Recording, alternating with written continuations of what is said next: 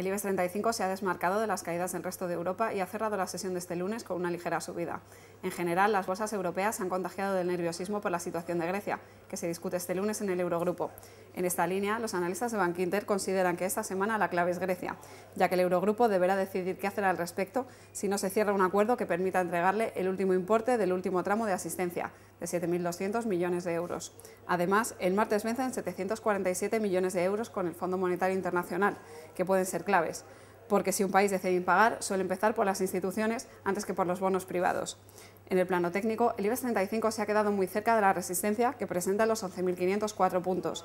José María Rodríguez, analista técnico de Bolsamanía, cree que no podemos descartar en el muy corto plazo una corrección. Sin embargo, en líneas generales, se puede decir que mientras no se perforen los mínimos de la semana pasada, tanto en Europa como en el IBEX, la posibilidad de volver a los máximos anuales está ahí. Eso es todo, más información en Bolsamanía.